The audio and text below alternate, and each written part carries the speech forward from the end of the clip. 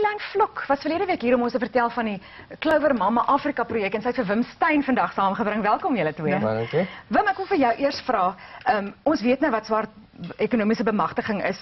Hoe gaan dit nou inpas by die Clover Mama Afrika projek? Miskien uh, net om om om daaroor te praat net so 'n bietjie weer 'n uh, stapie terug om te sê wat wat is wat mm -hmm. is hierdie elemente en hierdie goed. Ehm um, die regering het, uh, is obviously die custodians van hierdie uh, BEE mm -hmm. wetgewing. Uit die wetgewing uit het hulle met die met die uh, uh, telkaart opgekom en nou hierdie telkaart dryf die hele proses op die einde van die dag. So maatskappye word gemeet mm -hmm. aan hierdie telkaart. Daar's sewe elemente wat ons vinnig 'n bietjie oor gaan gesels. Ehm um, ek gaan nie deur elkeen gaan nie, maar net vinnig kyk waar pas mhm. Clover Mama Afrika se projek nou eintlik in by die telkaart. Um, as ons net weer vinnig die die die elemente kan kyk, hulle tel op na 100% op die einde van die dag. Mm -hmm. Elkeen het 'n het 'n gewig en daar sekere doelwitte waarna ou moet voldoen om by hierdie gewig uit te kom op die einde van die dag.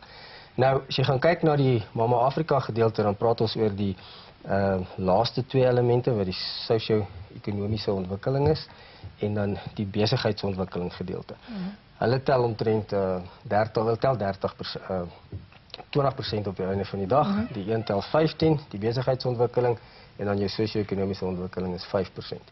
So Mama Afrika fokus op daai uh twee gedeeltes. Die ander gedeelte, die ander uh 80% op die op die telkaart is weer eens is maar net die eienaarskap gedeelte wat gaan oor die uh aandelehouding binne 'n besigheid, swart aandelehouding. Ons kyk na die uh kontroleer bestuur kontrole gedeelte wat kyk na jou direkteure in die besigheid en dan kyk ons na gelyke geleenthede wat hoeveel swart mense is daar jou ehm um, opleidingsgedeelte uh jou aan vir voorkeur aankope en daai tipe van goed maar Mama Afrika se gedeelte fokus dan spesifiek op die laaste twee. Hmm. Nou as ons net vinnig by die twee kan stil staan, wat is uh, besigheidsontwikkeling? Dit is jou investering van maatskappye hmm. in swart besighede uh gewone klein swart besighede om hulle te help om hulle op te hef en daai tipe van goed. Nou dit kan verskeie maniere aanneem. Daar's 'n hele paar paar maniere wat ou dit kan doen.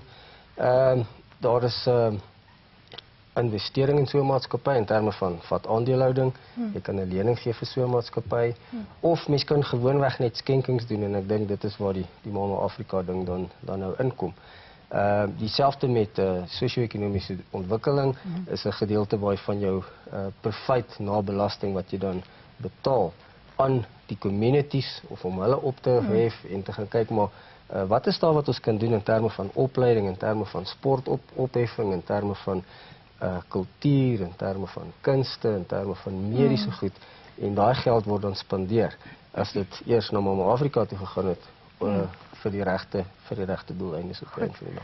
As as ek nou as maatskappy is net so vinnig dat ons het min tyd, maar as ek as maatskappy dan nou betrokke raak by die Clover Mama Afrika, wat is die voordele, die BEE voordele wat okay, nou vir my is? Die voordele heel eerstens daar is 'n telkaart waaraan jy moet voldoen. Uh, enige maatskappy moet aan daai telkaart voldoen op die einde van die dag.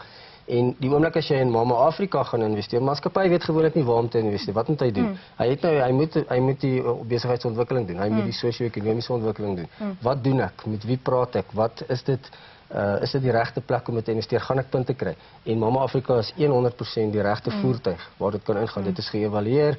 Hele klomp maatskappye maak daarvan gebruik en jy weet as jy jou geld daar insit, gaan dit vir die regte doeleindes en uh, maar uh, die prof die beste persoon om te verduidelik wat is die voordele en goed wat die mense daai. Nou wens ek ons het tyd gehad om by jou uit te kom. Jy het nou gesit en so mooi gelyk, maar nou net vir die kykers sê ja. dat daai maatskappy kry dan nou 'n bewys van julle dat hulle daarbey betrokke was. Ja, artikel 18A sertifikaat en ook fotoverslag en uh, al tot in die fynste detail verduidelik ons presies wat gaan vir wat. So of jy geld gee en of jy produk of doen ander donasies gee, hmm. ons kan vir jou die nodige sertifikate gee vir BE en of wat jy kan gebruik vir belastingdoeleindes. Wonderlik. Dankie dat julle by ons kom kuier. Ek dink ons sien jou volgende week weer. Baie dankie.